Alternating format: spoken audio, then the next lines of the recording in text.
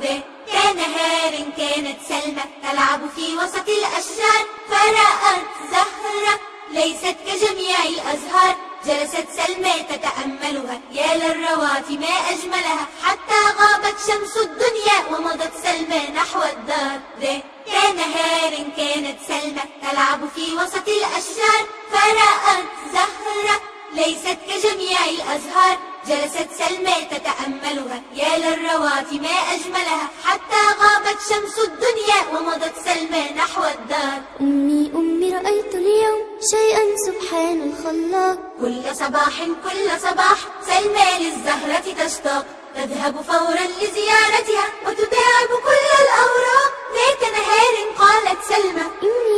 إني أتعبني المشوار بدلا من أن آتي إليها. آخذها معي إلى الدار. أجعلها بجوار سريري وأناجيها بالأسرار. ومضت للزهرة قطفتها. قالت آه ما سمعتها. للبيت سريعا أخذتها. والأم الحانية رأتها. نظرت قالت بعد سكوت. إن الزهرة سوف تموت هل تسكن سلمى في الغابة؟ هل تجلس في الأرض سحابة؟ لا لا لا هل تسكن سلمى في الغابة؟